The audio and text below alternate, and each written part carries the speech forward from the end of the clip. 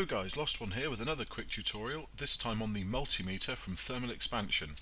The multimeter is used basically for measuring the amount of energy or liquids passing through either redstone conduit or liquiduct over there. Now if you right click on the conduit like so, you'll see in the bottom left that the saturation is 0.0%.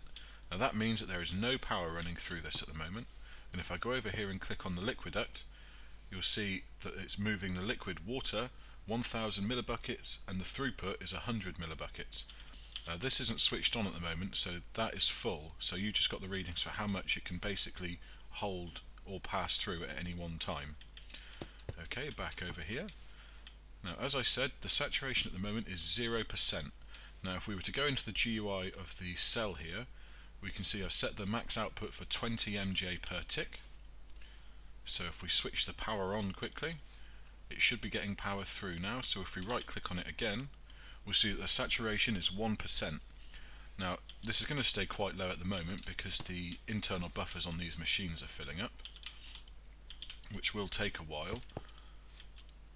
But as you can see it's plenty of power is being drawn through so there's no backlog inside this pipe this conduit. So but if I bump this right up to 100 there we go and then we start clicking on it again, we should see the saturation slowly rise until the machines are full.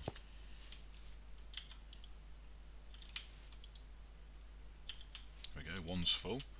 Just waiting on the magma crucible catching up now.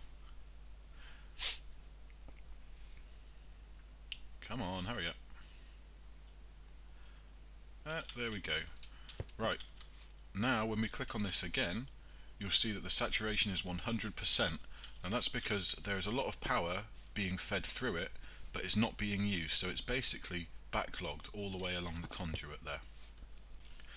So in essence what you will basically be using the multimeter for is checking to make sure you are providing the optimum amount of power for your machines or machine room um, to make sure you're not wasting fuel by leaving engines running when they're not needed.